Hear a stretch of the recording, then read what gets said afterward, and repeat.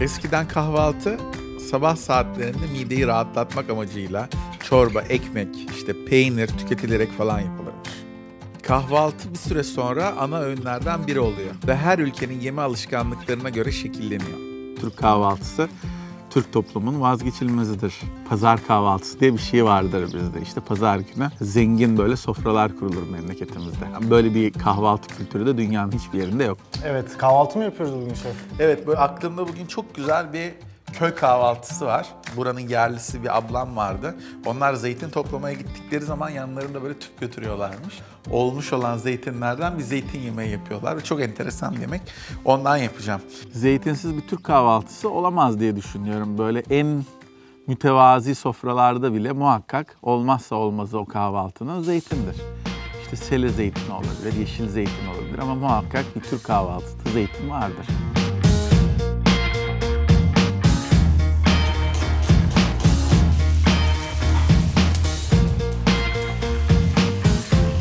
Ege gezimde işte bir zeytin toplamaya şahit olmuştum. Hatta beni davet etmişlerdi yöre halkı. İşte bütün gün çalışıldı falan. İşte zeytinler toplandı. Ondan sonra bir ağacın gölgesine oturdular. Tüpü yaktılar. İşte bir tane tava koydu. Birden zeytinleri kavurmaya başladı. Zeytinyağı da var. Zaten her şey orada doğal. Ondan sonra içerisine birazcık kuru domates falan attı. Birazcık böyle kuru kekik attı. E, Yorgunduk da tabii ya. Bütün gün çalıştık. Böyle onu iştahla böyle ekmeği böyle sıyıra sıyıra içindeki zeytinlerle yedim. bayılmıştım. Sonra valla çok güzel bir şey öğrendim. O günden beri de böyle meze sofralarına ya da böyle kahvaltılarda alternatif olsun diye muhakkak her zaman bu zeytin yemeğini yaparım. Ablayı da her seferinde anarım.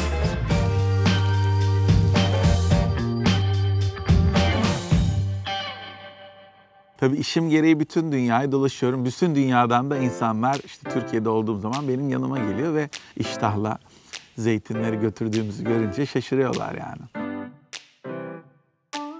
Bu arada Türkiye'deki zeytin çeşitliliğini say say bitmez yani. İnanılmaz zengin topraklar, inanılmaz zeytin çeşitleri.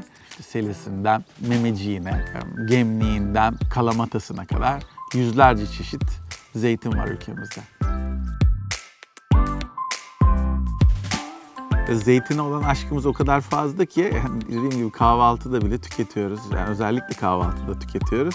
Ve zannedersem Ege'de ve Akdeniz'de bizden başka da kimse zeytini kahvaltıda kullanmıyor. Her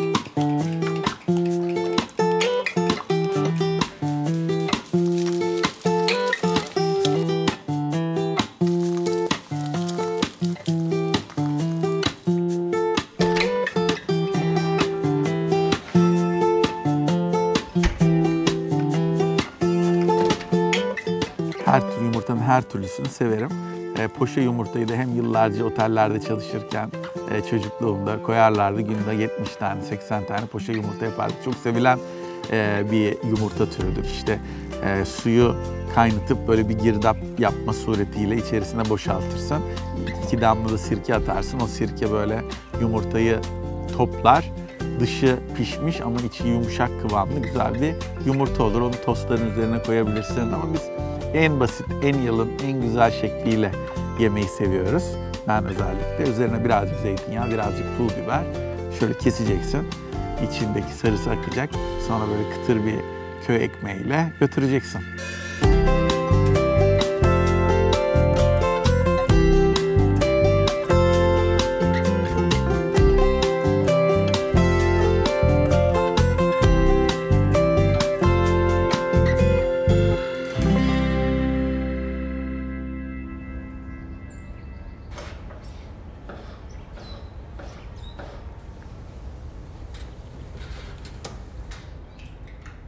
Dillere destan Türk kahvaltısının mucizevi lezzeti ve çeşitliliği zengin ikliminden ve kültür farklılıklarından geliyor.